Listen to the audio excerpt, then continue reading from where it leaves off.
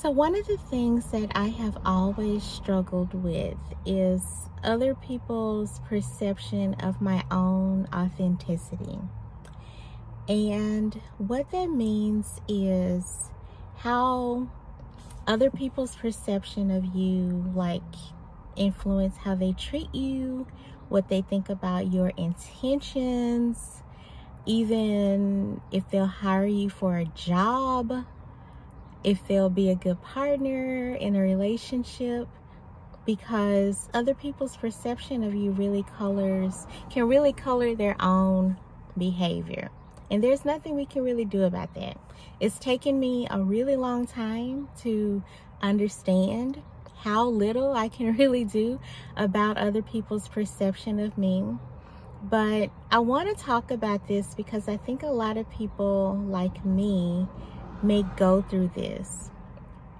So I would describe myself as an honest person and a person who just has really, I won't call them pure intentions, but just like black and white intentions.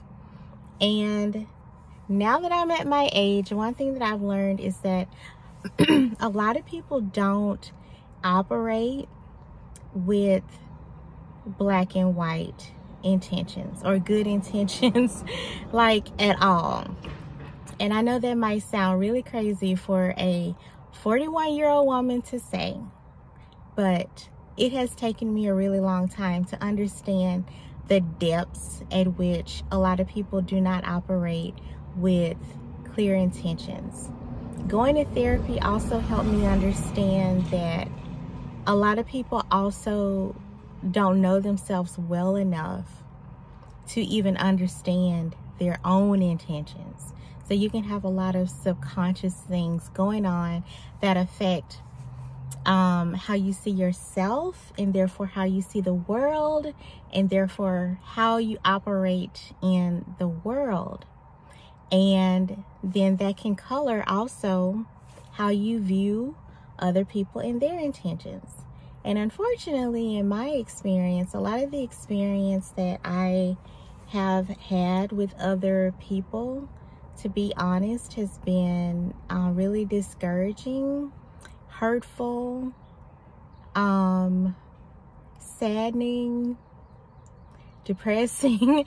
a lot of the interactions that I that I have with other people, they don't feel. It's rare that I feel like that my energy is met when I am interacting with another person, that is reciprocated, that is the same. So, because of that, and also having so many people call me weird or tell me that I like am weird or intimidating. I've been called intimidating a lot. Um, because I've had so many interactions with people that were unpleasant, disappointing, all these things, all the ways I just described them. I have, as a way to protect myself, I have definitely developed a mask. And I feel like my mask is necessary, but it's not something that I enjoy putting on, that I enjoy acting acting within the confines of. But if i mean i think a lot of people do it at work.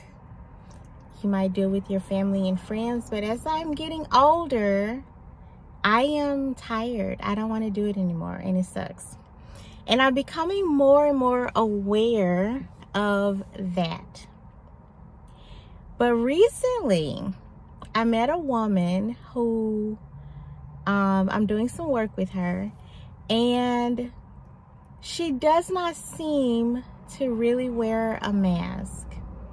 And this is the most amazing thing to me. I met her and I immediately liked her, which is also rare. most of the time when I meet other people, it's not that I don't like them, it's that I am guarded. And people, even people who have known me for a long time will say, you seem mysterious. You seem guarded. Um, that is a, that is a defense mechanism. I'm, and I'm completely aware of that. And it is intentional, like without question. But when I meet people who don't seem to operate like that, but who also seem to be genuinely nice, like I consider myself to be on the inside, even though I've learned that sometimes acting that out makes people, they have their own stuff going on and you try to be genuinely nice to somebody and care about them and they cannot accept it and they certainly cannot reciprocate it.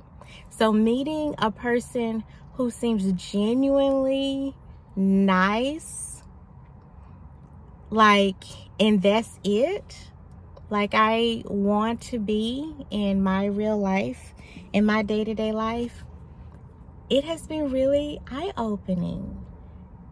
It has been really eye-opening. It when I was interacting with her, the way she talked about caring about other people, caring about the people that work for her, caring about her friends and her family, it just seemed so genuine and pure. It didn't seem like she was trying to hide from me, a stranger, that she had emotions, that she was a caring person, that she cared about her job, that things that she were she was going through, um, you know, was hurting her. She just was so like emotionally free with with me, a stranger, and that was so beautiful. When I was talking to her, I had to be really aware to not just stare at her because I was like damn, this person seems incredibly genuine and open. And I started to wonder about the levels at which I mask and I perform because I have been disappointed and hurt so often in my interpersonal relationships.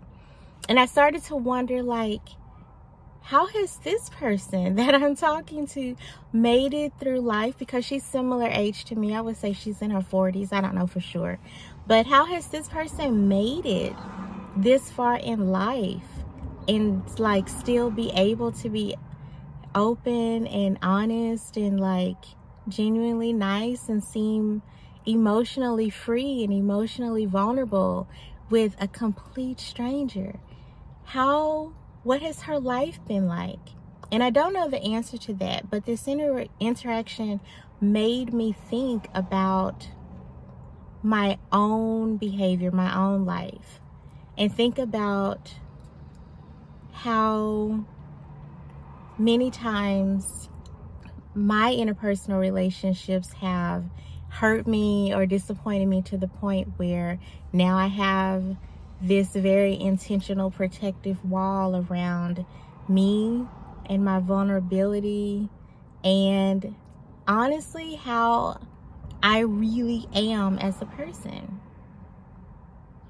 So I just want, if you're going through this or if you have this same experience with other people, I just wanted to make this video to let you know like you are not alone. And I don't know if, you know, like, I don't know if I'll ever be the kind of person who can be really vulnerable, like with a stranger.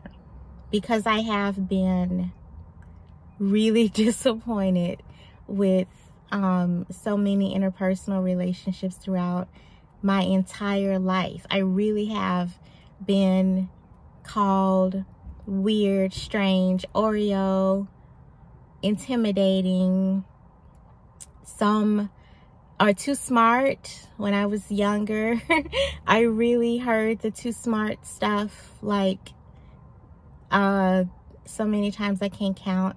So I have had so many interactions with people who basically didn't like me because of something that I I inherited, like my personality, like I don't really control it or my level of intelligence. I didn't, you know, I didn't ask for any of this. So I don't know if I could ever be like, is it even possible for me to get to the point where I'm not really masking all the time with other people? And that makes me sad, but I do have a little bit of hope because I've met this woman who surely there's no way that her life has been so amazing and perfect. And it's you know she's just only a product of the things that have happened to her. I am not only a product of the things that have happened to me but i have made a conscious choice to even now like remove myself from situations that are hurtful or interrelation interpersonal relationships that are not reciprocal.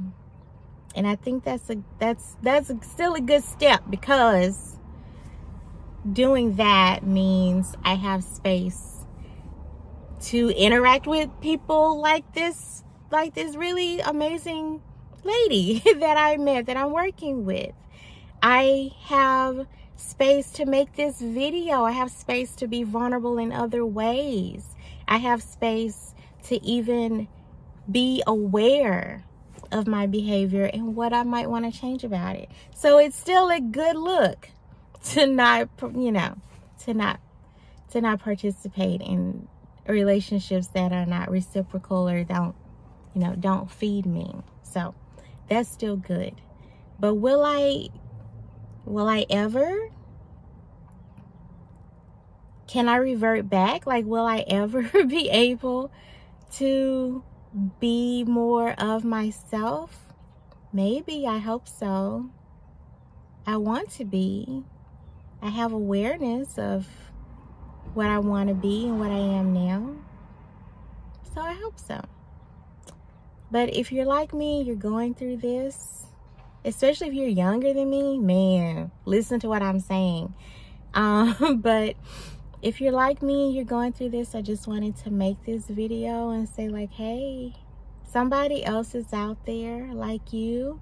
If you are that person that feels incredibly misunderstood and you have taken all of that, those times where you felt misunderstood and those that pain and you've made it made it into an armor like I have, you are not alone.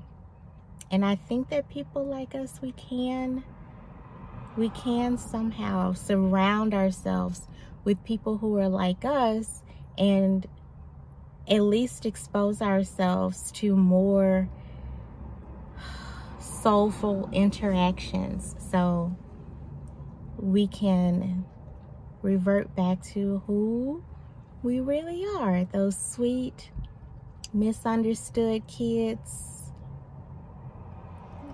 The sweet child inside of us that we are honestly, the armor is just to, trying to protect that little kid in you that was hurt so many times and who grew up to be the adult who now just tries to protect you.